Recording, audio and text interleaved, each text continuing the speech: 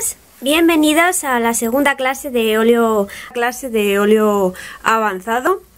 Hoy, como para empezar el taller, eh, había pensado en dedicarlo un poco a la teoría de, del color. Veréis, eh, algo muy importante en la pintura en general eh, aparte de saber dibujar, es importante tener cierto conocimiento de, del color. Ya supongo que conoceréis el círculo cromático, ¿no? Y un poco la base principal pues, de la mezcla de los colores primarios y secundarios. Por lo cual eh, no voy a, a, repetirlo, pero bueno, sí vamos a hablar un poquito de, de círculo cromático, pero bueno, de una manera un poco diferente y ver qué otras cosas podemos sacar ¿no? Hay cosas importantes que nos pueden ayudar a la hora de, pintar, ¿vale? Como ya sabéis, pues en la mezcla de colores, eh, atajos, eh, aprender ciertas cosas que nos van a ayudar tanto para ahorrar pintura, ahorrar tiempo y, bueno, en cierto modo, eh, conocimiento, ¿vale? Y ver que también qué cualidades nos aportan de forma pues, estética y visual a la hora de usarlos eh, en, un, en, un, cuadro. Eh, aquí tenemos eh, un círculo cromático, ¿vale? El más básico, donde tenemos la, vemos la representación de los, imagino que ya sabréis, los colores primarios, ¿no? El amarillo, el magenta y el azul con los, con los secundarios.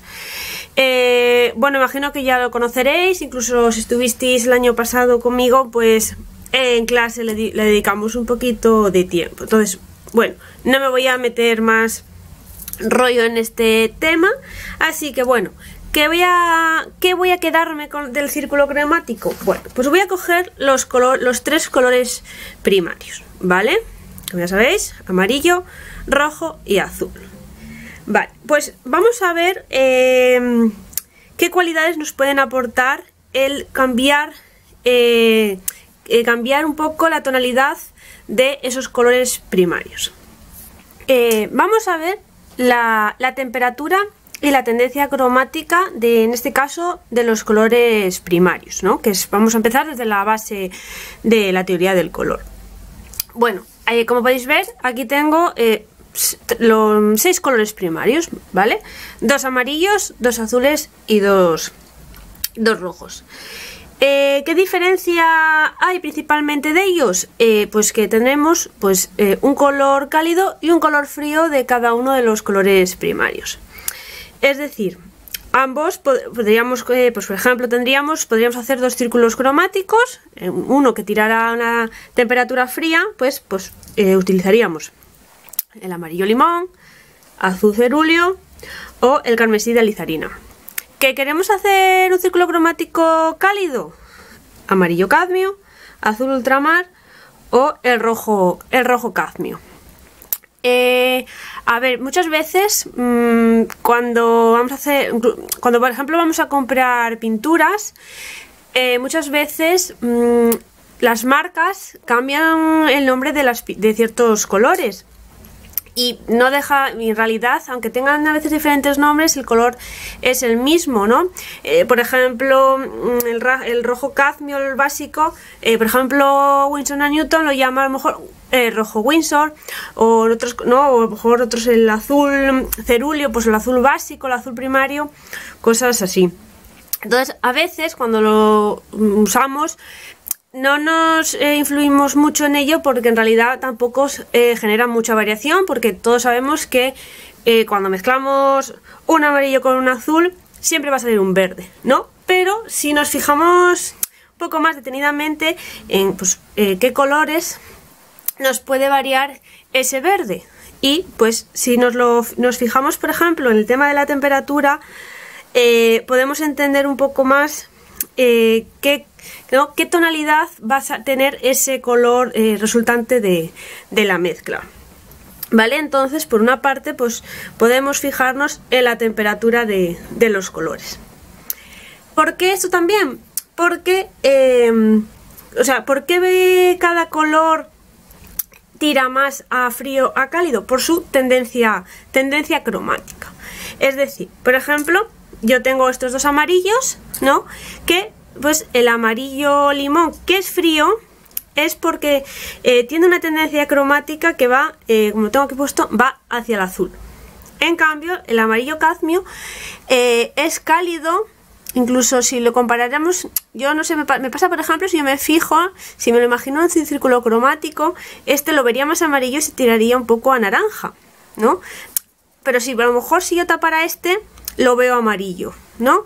No sé si os pasa a vosotros, pero yo ahora al fijarme y al explicarlo, pues me pasa eso, ¿no? Entonces, este amarillo tiene una tendencia eh, al rojo y por eso es, cálido.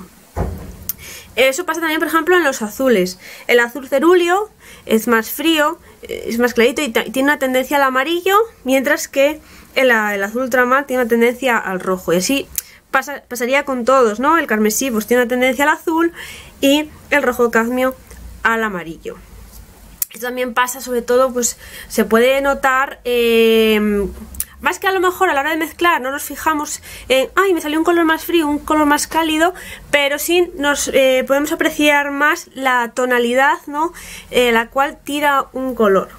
Entonces, esto es importante si nos a la hora de pintar nos fijamos, pues sí podemos notar mucho más, eh, o sea, diferencias en, nuestros resultados eh, en las mezclas. Y eso también pues nos puede ayudar a la hora de pintar, si estamos sobre todo a lo mejor copiando de un cuadro, eh, ah, pues necesito un verde que tire a, a tal color, un verde que tire a otro, ¿no? O los marrones, etc. Por otra parte, el, el seleccionar unos primarios u otros nos va a condicionar también en los secundarios. Eh, es decir, mm, todo, pues, lo que estaba diciendo, ¿no? Que em, sea un color cálido o frío, esto siempre va a pasar que si mezclas un amarillo con un rojo, va a salir un naranja, ¿no? Tonalidades naranjas, o un amarillo con un azul, tonalidades verdes, etcétera. Pero sí nos puede variar en que un color secundario sea un más vivo o más apagado. Bueno, en este ejemplo no sé muy bien, Em, os pondré también una foto de un libro donde se ve ayuda mucho ver porque los colores están más vivos y se va a ver mucho mejor los resultados. Por ejemplo, eh, a ver, es un poquito raro, pero es, muy interesante, ¿vale? Por ejemplo, que queremos unos secundarios tonalidades más vivas, pues tendríamos que mezclar dos primarios cercanos al mismo secundario. Es decir, dos primarios, ¿no?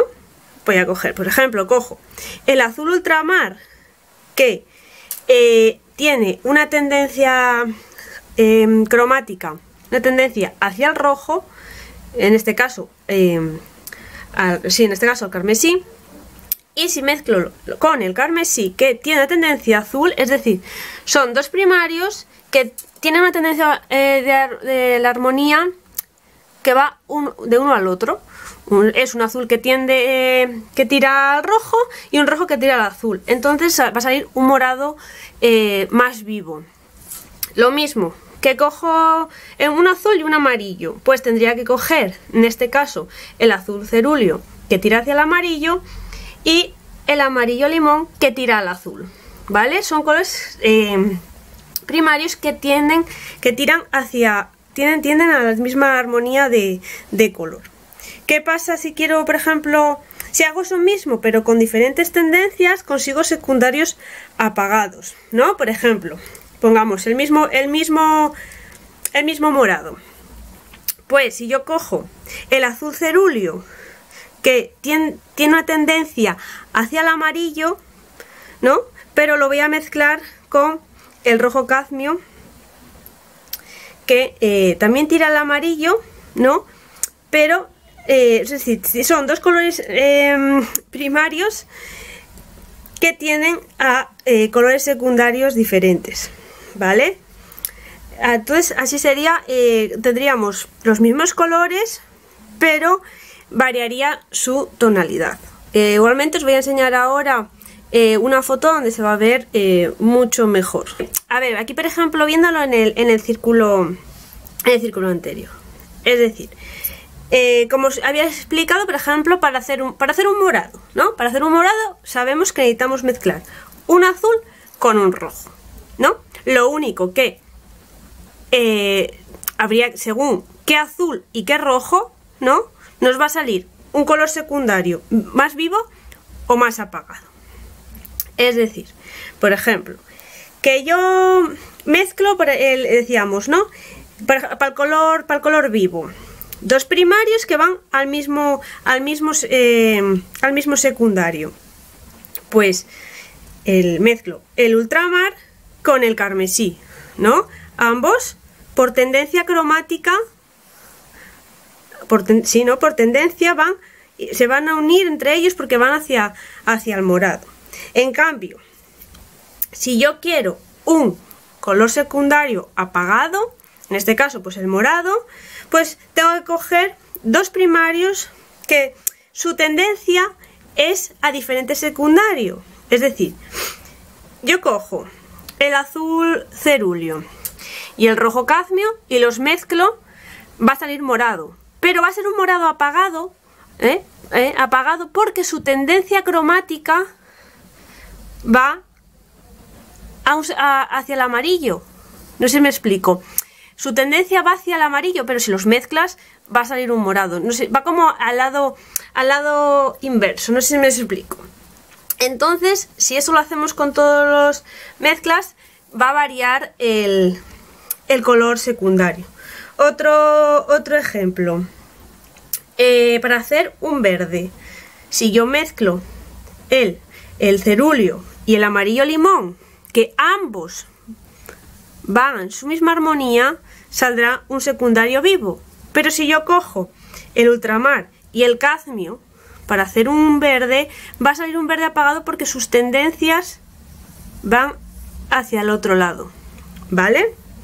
es que a veces también cuesta incluso un poco, un poco explicarlo. Pero esto, esto es muy interesante. Yo si queréis eh, os animo a que mm, tenéis los colores podéis, os animo a que experimentéis un poco en la paleta y mezcléis para verlo, para ver mucho mejor los, los resultados. Las tendencias cromáticas lo veo muy importante porque si en muchas ocasiones nos va a pasar eh, a la hora de, de pintar ¿no? y de buscar un color cuando vemos pues que no tenemos un, por ejemplo, al denominar un color, ¿no? Ah, es que este marrón es, un marrón, pero tiene una tendencia a verde, ¿no? Ah, este azul tiene una tendencia eh, a morado y este, estas cosas las vamos a encontrar mucho a la hora de, pintar. Entonces, por otro lado, tenemos también la la escala de los opuestos, ¿no? Eh, una que cambia la saturación del, del, color, también llamado la armonía de quebrados, que es hacer una escala es decir, una mezcla eh, de diferentes porcentajes, pero mezclando dos colores opuestos, ¿no? Pues, por ejemplo, eh, el amarillo y el morado, el rojo y, el verde, ¿no? Si hacéis una pequeña escala, que también os animo a mezclar, si queréis experimentar y os interesa más este tema, veréis la cantidad de colores, sobre todo marrones y verdes y rojizos, morados, que salen que muchas veces eh, los vamos a ver a la hora de ver paisaje, hacer una foto, etcétera. Y por ejemplo me parece siempre muy interesante la escala de, del amarillo al morado porque ahí sacamos el ocre, ¿vale? El color, el color ocre. Y entonces eso también está muy muy interesante y os animo a que lo experimentéis. Os cuento esto y os hago esta referencia a la temperatura de los colores porque Em, aparte de que nos va a ayudar a la hora de trabajar, esto también se ve reflejado en nuestra paleta. Es decir, eh, cuando hablamos de la teoría del color, pues siempre hablamos de la base principal, que son los tres colores primarios, bueno, o incluso cinco, ¿vale? Porque en realidad necesitamos cinco colores, el amarillo, el azul el rojo, que serían los tres cuando, cuando hacemos referencia a tres, y los cinco son cuando añadimos el blanco y el negro. Pero ¿por qué hablo de hago esta referencia a la temperatura de los colores? Porque eh, en realidad con el paso del tiempo siempre vamos a comprar más colores o incluso cuando compramos una caja, ¿vale? Una caja, un maletín que ya viene en varios colores, eh, siempre viene una cierta base de, tonalidades que si eh, os fijáis es esto que os he, ido, os he estado contando ahora. ¿Qué colores podemos tener en una caja, una paleta básica y seguramente que tengáis vosotros ya lo hayáis comprado de forma individual o en paquete? Pues vamos a encontrarnos con el amarillo limón y el amarillo cadmio. Vamos a tener fijo seguramente el rojo cadmio, el carmesí, vamos a encontrarnos con, seguramente tengáis dos azules, ¿vale? Que seguramente sea un azul cerúleo, eh, azul cobalto, azul ultramar también, incluso el francés, ¿vale? Nos serviría como un azul oscuro. Eh, luego, por otra parte, seguramente a veces tendremos también eh, el ocre o el amarillo nápoles, mm, el naranja cadmio, ¿no? Luego otras cocinas así, más colores llamativos, pues el, un rosa, un rosa permanente, un púrpura. Y luego también, muy importantes y, grandes aliados, pues eh, el siena tostada, la sombra tostada. Entonces, seguramente, eh, y siempre cuando compramos, vienen estos colores. Y si os fijáis, es un poco. Están los colores que hemos estado hablando ahora de forma individual y de cómo poder usarlos eh, esos en diferentes, en diferentes grupos. Entonces, bueno, me pareció interesante por eso, para que, pues si no lo sabíais o no os habíais fijado, ¿no? De cómo podemos eh, variar su utilidad según la mezcla de, de colores. Luego, eh, también otras veces gente lo denomina pues como ¿no? Eh, cuando hablas del color, ¿no? Ah, la teoría del color, ¿no? Los, los primarios básicos, ¿no? El amarillo, rojo magenta y el azul. Luego, eh, esto de las temperaturas, pues a veces los denominan como colores atajo. ¿no? Colores atajo serían, pues, eh, haciendo referencia al amarillo, el azul, perdón, el perdón, atajo del amarillo, el ocre amarillo, del magenta o rojo, pues sería el carmesí, y del azul sería el azul ultramar o el cobalto o el francés. ¿Vale? Serían como los atajos, ¿vale? Porque en realidad podríamos partir todo del mismo, pero eh, a la, somos muy cómodos y muchas veces pues nos ahorramos de mezclar. Pero bueno, siempre yo insisto mucho en saber esto para, para aprender y es importante saber porque a veces sacamos colores que nos salen sin querer y luego no sabemos volver a, hacerlos. ¿No? Entonces, eh, por, eso, por eso insisto tanto en lo del color. Entonces, pues si os fijáis lo que llaman eso como colores primarios y los atajos, en realidad se podría diferenciar también pues eso, eh, la temperatura. Y luego pues tendríamos los colores esos que siempre necesitamos y partimos para mezclar, ¿no? Los marrones, pues siena tostada, sombra tostada, eh, eh, los, blancos, ¿vale? Principalmente suele usarse el blanco, el blanco tita. Entonces, bueno, si no os habéis fijado, fijaros en qué colores tenéis en vuestro maletín ¿eh? y que mm, si te los tenéis todos os falta, os falta alguno. Bueno, eh, después de este tema así un poco más genérico de los colores, eh, ahora os voy a comentar un poquito el tema de los grises.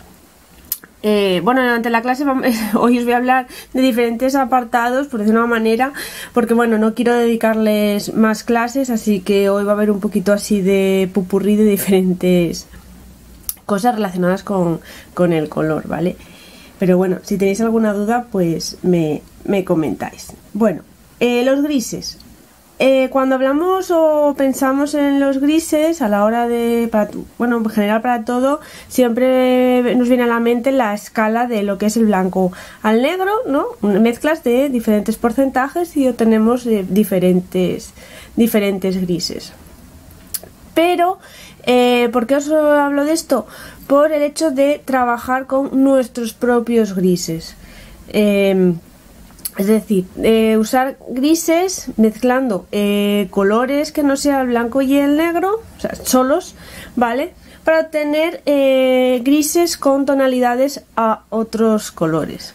Esto es muy, es muy útil a la hora de pintar porque aunque trabajemos a lo mejor pues en ciertas composiciones así, a lo mejor de nieve o oscuras y tal, el trabajar con grises con cierta tonalidad eh, le, va, le da mucha vida a los cuadros, ¿vale? Y aparte que eh, ampliamos, es como que también ampliamos esa escala básica de colores grises. Por ejemplo, aquí pues os muestro diferentes, diferentes ejemplos, ¿no? De cómo eh, partiendo de un color hacia el blanco, hacia el negro, son, tenemos miles de, de colores ¿no? Que son como, son grises, ¿no? Pero tienen una, una tonalidad, ¿vale? Incluso aquí os muestro eh, un ejemplo aplicado ya a, a una obra.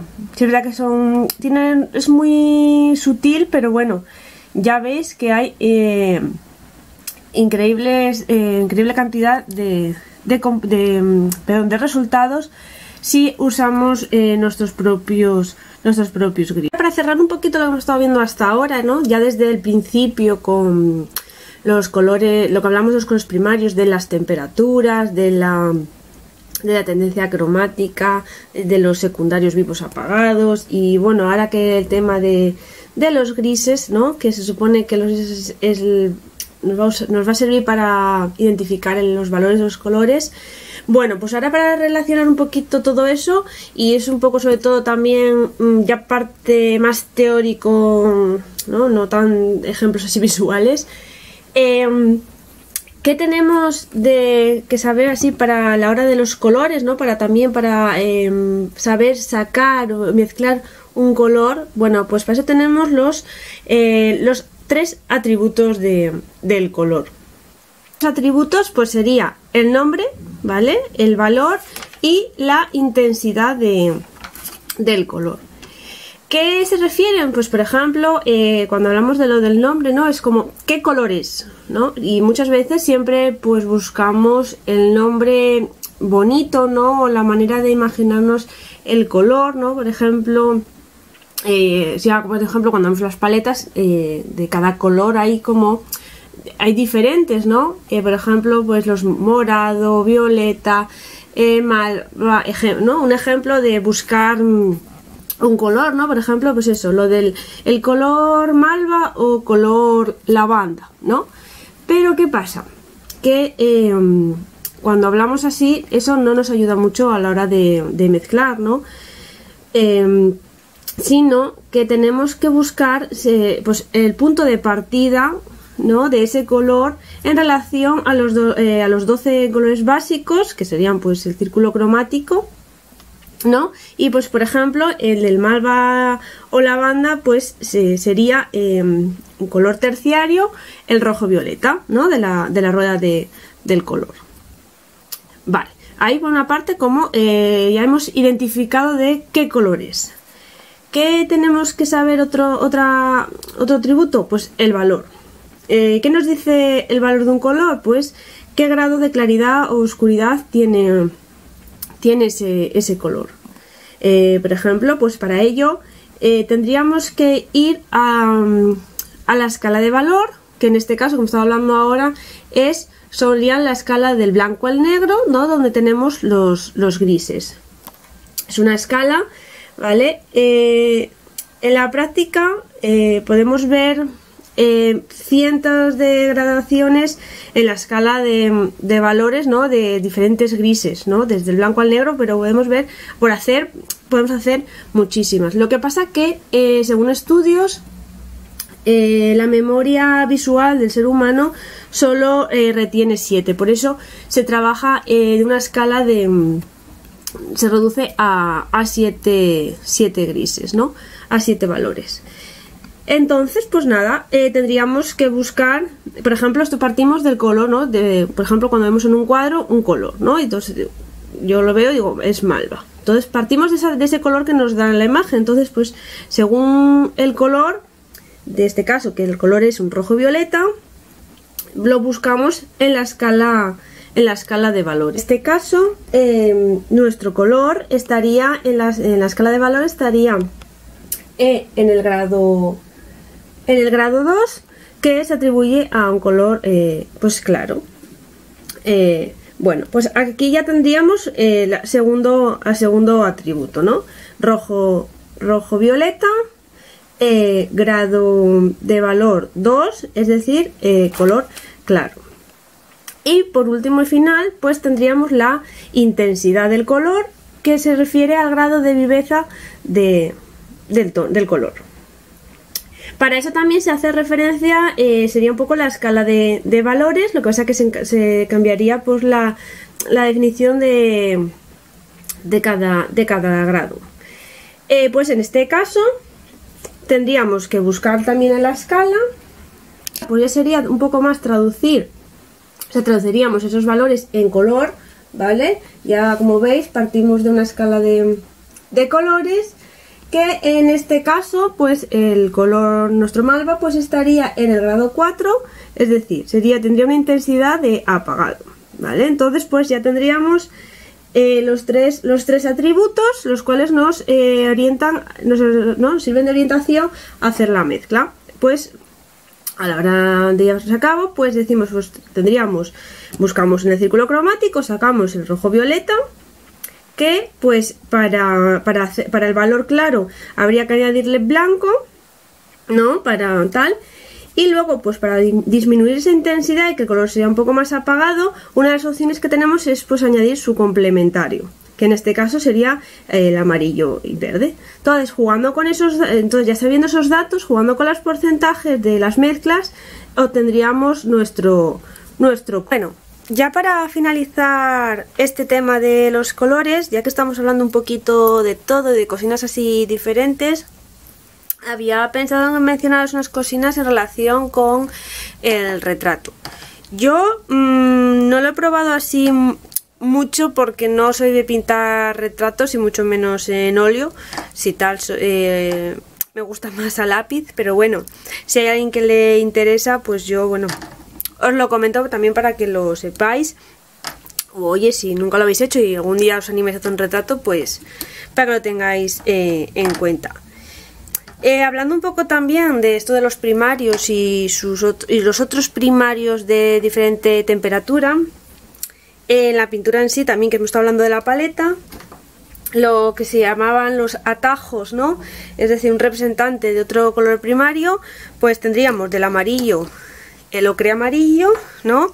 Del azul cerúleo, azul celeste, que es en este caso que tengo yo, el ultramar, y del rojo cadmio, el, el carmesí, ¿no? Vale, pues estos serían un poco pues lo que serían los atajos, que luego, si lo que estábamos hablando, aparecen también en, en la paleta y que siempre vamos a usar los atajos que aunque sepamos mm, andar eh, mezclando con los colores primarios, siempre vamos a, ayudarnos de, los atajos. Bueno, luego por otra parte tenemos también, os había dicho, pues el, el siena tostada y el sombra, el sombra tostada, que estos también son muy, muy amigos nuestros y casi imprescindibles de, de nuestra paleta. Bueno, pues para añadir a, a todos esos colores Em, aparte de los marrones, eh, os incluyo el violeta permanente, ¿vale? Este, en temas de, por ejemplo, retratos, funcionan, funcionan muy bien, ¿vale? Porque lo que os voy a hablar en sí es eh, ciertos problemas que nos generan eh, el paso de las luces a, las sombras, ya que em, eh, hay que tener cuidado en la hora de mezclar los marrones porque eh, es muy fácil de que pasemos de tener en la paleta un marrón a pasar a tener un gris, ¿vale? De hecho, eh, si habéis probado, como habíamos estado hablando, de los mezclas de los colores opuestos, ahí salen colores así muy fuertes y muy marrones y bueno, hay que tener, hay que tener cuidado.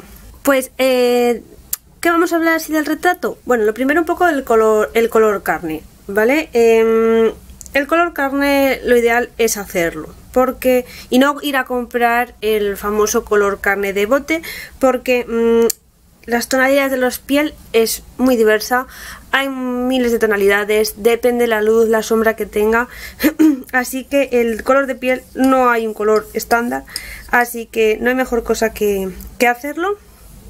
Y eh, para hacer el color carne blanco y ocre lo mejor. Y luego pues puedes jugar con la cantidad de, de rojo de una pintina de, de, rojo. Como veis aquí bueno aquí tengo un color bastante fuertón pero bueno añades un poquito más de blanco.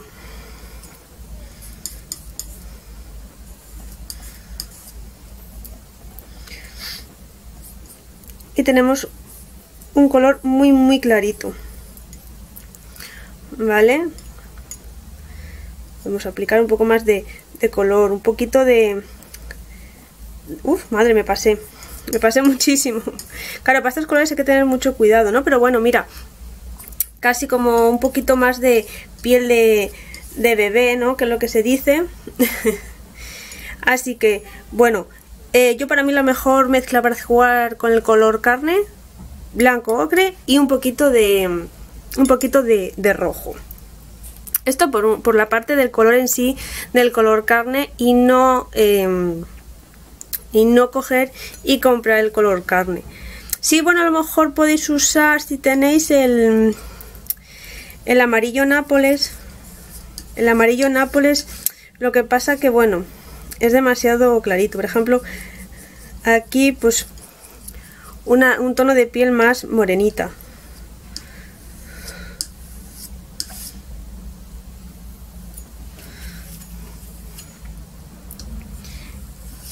Aquí el que tenía inicialmente, que casi no queda. ¿Vale? Pero veis, he hecho una mezcla base con... Vamos a hacer un poquito más.